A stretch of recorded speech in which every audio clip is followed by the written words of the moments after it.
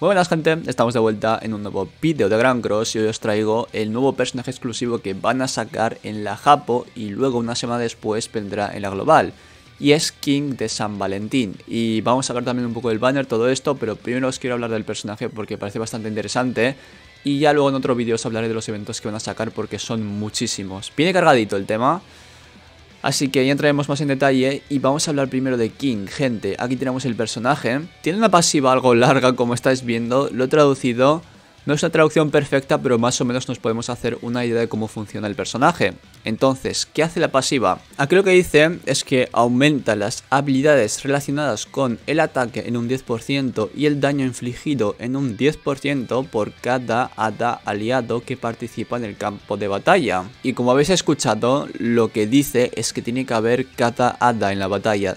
En total pueden haber tres, a no ser que hayan eventos del palo, yo que sé, por ejemplo, si nos pasamos bestias demoníacas, si hacemos PvPs con reglas exclusivas pueden haber cuatro personajes, pero normalmente en las batallas suelen haber tres. Entonces King en total recibirá un 30% de boost de stats relacionados con el ataque más el daño, que es bastante en mi opinión, un 30% es alto, gente. No es una locura tampoco porque hay personajes que se dan un 40, hay personajes que se dan un 50, puede ser, pero recordad que stats relacionados con el ataque, gente, son todos los substats más el stat principal que es el ataque, que va subiendo, o sea que al final el personaje va a pegar bastante fuerte y no solo ahí acaba la cosa, sino que también se sube el daño un 10%, entonces el daño también subirá un 30% extra y yo me da la impresión de que va a pegar fuerte este King. Habría que ver lo que tal funciona, pero por la pasiva gente parece que pega algo fuerte. Y también lo que hace es que aumenta las estadísticas básicas de un aliado específico en un 8% por cada aliado específico. Es una cosa rara y no sé si se referirá a que aumenta un 8% los stats base de los aliados ADA por cada aliado ADA que esté en el combate. No creo porque estaría muy roto la verdad y asimismo se bufaría una barbaridad. Y es una traducción muy rara gente. Justamente no sabré deciros cómo funciona esta parte de la pasiva. Así que supongo que cuando salga en la global veremos cómo funciona esto para acabar de aclarar. Pero a primera vista, lo que tiene su pasiva tiene bastante buena pinta y parece que va a ser un personaje de hacer bastante daño. Y no solo ahí acaba la cosa, sino que también, gente, aumenta el daño infligido en un 30% cuando los enemigos tienen debuffos puestos. Y joder, todo apunta a que va a hacer daño el personaje. Realmente, entre los stats relacionados con el ataque, entre el daño extra, que también va a ser un 30%, más otros 30% extra que gana por tener debuffos los enemigos, que este personaje, por cierto, aumenta de buffos, o sea que va a cumplir eso, veremos con las cartas que tiene. Uh, pegará fuerte, pegará bastante fuerte. No sé, gente, no sé qué pensáis vosotros, pero yo creo que tiene buena pinta este King. Me da la impresión de que va a ser algo decente. Lo malo que tiene que es un hada y no hay muchos hadas rotos. Supongo que sacando este ya poco a poco vendrán más fuertes y quizás sea jugable. Porque en verdad Sí que es verdad que la pasiva parece fuerte, pero como no hay muchos aliados hadas que sean fuertes y tal, no sé qué tan útil será el personaje en general. Así que tened en cuenta eso, gente, antes de tirarle nada por el estilo, que también hablaremos del banner que tal está, pero primero os quería hablar de las habilidades que tiene. Entonces, aquí tenemos dos habilidades diferentes, gente. Primero es el ataque que mete el debuffo, el que os comenté, y esto lo que hace es que mete veneno, hace por 375% el daño del personaje a un enemigo, solo le mete a un enemigo, no le mete a todos y lo envenena por 3 turnos. Esto es la carta al máximo. Al nivel 1 no sabemos cómo será. Imagino que al nivel 1 también meterá debuffo. Tendría sentido. La cosa aquí sería que, a ver, lo ideal sería que le metiera a todo el mundo el veneno, gente. Porque así aprovechamos un poquito más tema de la pasiva. Porque lo que pasa con su otro ataque es que esto le pega a todo el mundo y tiene punto débil. Lo que quiere decir que si le mete a todo el mundo el veneno, entonces le vas a sacar un provecho insano a esta habilidad porque le va a pegar muy fuerte a todo el mundo. En cambio, al targetear solo a un enemigo, quizás habría que llevar un aliado que le envenene a todos, que yo creo que de hadas hay unos cuantos que hacen, por lo tanto tampoco será un gran problema pero justo el personaje en concreto es una pena que no cumple esa condición, pero tampoco es algo que digas lo hace mierda el personaje, no creo. Pasando con la ulti gente, tenemos otro personaje más que tiene el daño de Abyss. Lo que hace la ulti es que inflige un daño de 450% de ataque del personaje a todos los enemigos y durante dos turnos les pone el efecto de la bis. Y dependiendo del nivel que tenga, la ulti será más o menos. Por ejemplo, el nivel 6 es un 60% del daño que haga el personaje y al nivel 1 es un 30, o sea que es la mitad. La cosa es, gente, que este Abyss en concreto no parece que pegue tanto como el de Freya, ¿verdad? Porque si no me acuerdo mal, bueno, aquí tenemos a Rimuru, pero vamos a pasar con Freya mejor. Lo que pasa con esta que pega una barbaridad con su ulti, ¿verdad? Sí, fijaos, tiene un multiplicador súper alto, tío. Comienza por 725 y acaba por 1350. Esto es una maldita locura, ¿eh, gente. Esto es una maldita locura. Lo que pasa que la oleada lo nerfea un poco a la ulti porque le quita daño por cada enemigo que haya en la batalla. Entonces hace un poquito menos, sí, pero aún así es una burrada de daño. Porque si comparamos con King, lo máximo que llega es un 450. Y Freya de por sí comienza por 725. Así que no sé qué tan fuerte pegará esta ulti, gente. Imagino que por la pasiva que tiene, que le bufa bastante los stats de ataque, más el daño y todo esto, quizás pegue fuerte y tal, pero...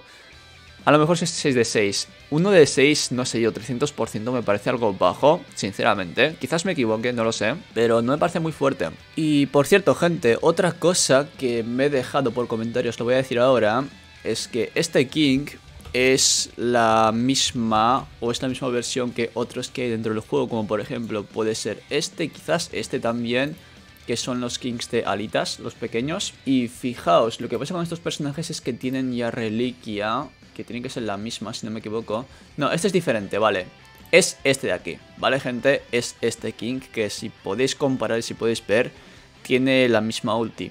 ¿De acuerdo? Este King tiene la misma ulti que King de San Valentín, y van a compartir skins y van a compartir reliquia también que es esta. Y realmente no sé qué tanto renta llevar esta reliquia porque a ver sí que es verdad que mete el debuffo y así en la carta de weak point va a hacer bastante daño eso es cierto, pero no sé, me da a mí que le vendría mejor otra reliquia diferente, gente. Y quizás por culpa de esto lo hayan arruinado un poco. No sé qué pensaréis vosotros, pero me da esa impresión. Porque este King parece decente por la pasiva que tiene, que lo hemos traducido con el Google Traductor, así que realmente no sabemos exactamente lo que hace. Cuando salga en la global lo sabremos mejor y ya podremos decir si es mierda o es bueno o qué. Y teniendo en cuenta todo esto, gente, a mí me da la impresión de que no tiene mala pinta el personaje, pero hay ciertos puntos que flaquean, como puede ser que no hay muchos hadas que ponen en el equipo, la reliquia ya está hecha y realmente no le viene tan bien. Quizás la ayude, lo que pasa que, a ver, yo no estoy seguro si esto se activa después de tirar la habilidad o si se activa antes, porque si tú tiras la habilidad de King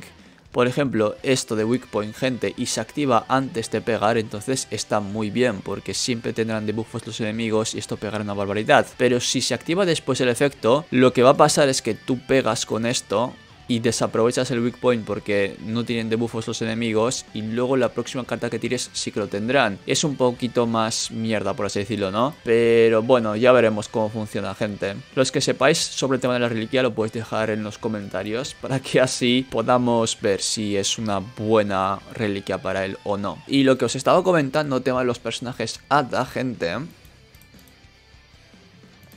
Es que fijaos, Aquí no hay muchos personajes ADA que sean top tier. Entonces, a ti lo que te interesa con este personaje es llevar aliados ADA para sacarle el máximo provecho posible.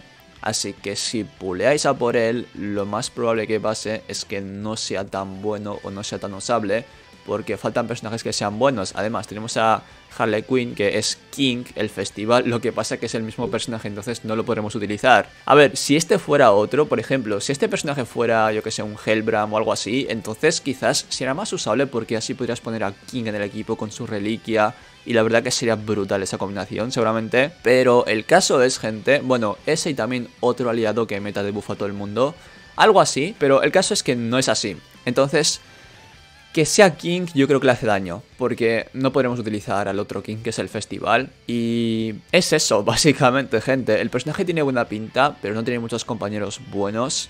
Así que no va a ser tan fuerte en un principio. Quizás en un futuro cambie si sacan más atas que estén rotos o sean más usables que los que ya tenemos, entonces quizás el personaje se vuelva bueno, pero hoy en día no lo veo tampoco súper súper potente. Porque al final del día es un personaje que depende de los demás, y ahí es donde te cae, porque como no hay muchos buenos, pues ahí se queda, ¿no? Y otra cosa que os quiero comentar es el tema del banner, porque aquí tenemos unos cuantos personajes que pueden estar muy bien, por ejemplo, creo que esta Elaine no está mal, pero los importantes yo diría que son esta Diane, esta que sirve para pasarte en gel a Belmoth, que no me acuerdo su nombre, empezaba por Z si no me acuerdo mal, y Merlin Verano que da mucho asco en PvP y se utiliza hoy en día, ¿vale? Para equipos asquerosos se utiliza. Entonces el banner es normalito.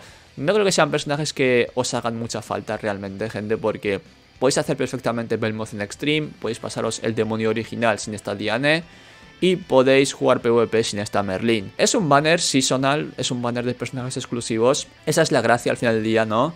y también salen personajes de San Valentín. Y si queréis tirarle seguramente sea porque estos personajes lo queráis por ser exclusivos y por coleccionar. Pero realmente no hacen falta en la cuenta, ¿de acuerdo? Sí que es verdad que os facilita, pero no son necesarios. Entonces yo gente, cuando salga esto en la global, lo que os recomiendo es que skipéis los que seáis free to play y los que seáis nuevos, no tiréis aquí, ¿de acuerdo? Porque dentro de poco va a venir el banner del festival del aniversario y ahí eso sí que va a estar tocho.